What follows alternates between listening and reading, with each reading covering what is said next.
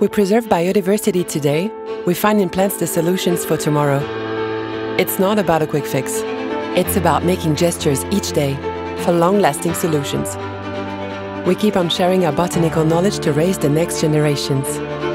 We never stop studying plants to create the solutions for our future. It's all about putting our knowledge into local actions for a global impact. Preserve biodiversity and rebalance ecosystems to make them stronger. From the flower to the bird, the mangrove to the sea, the tree to the community. It's in the everyday that we build the foundations of a better future for plants, animals, and people.